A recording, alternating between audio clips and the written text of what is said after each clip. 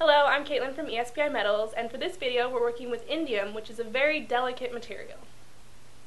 Now I will hold each foil up by the corner to see if it can hold its own weight. Starting with the 1000s, you can see as I let go it folds on its own weight.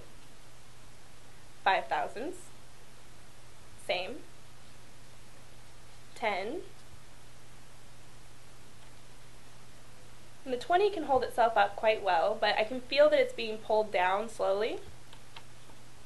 And the 40.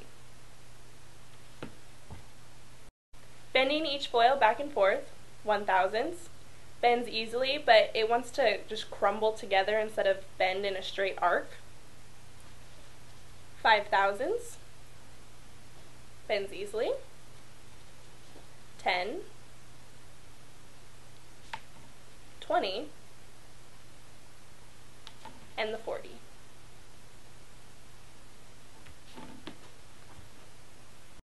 Wrapping the material around this PVC tube, starting with the 1000s, it wraps around quite easily, but it really doesn't hold the tube shape.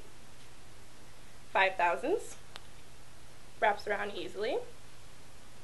But again, doesn't it kind of holds the shape, but it wants to just flatten out. 10,000s, holds the tube shape quite well. 20. Even better. And 40. Wraps around easily and can hold that shape. Hopefully this has answered some of the questions you might have had. If not, feel free to contact our office via phone or email. Thank you for watching.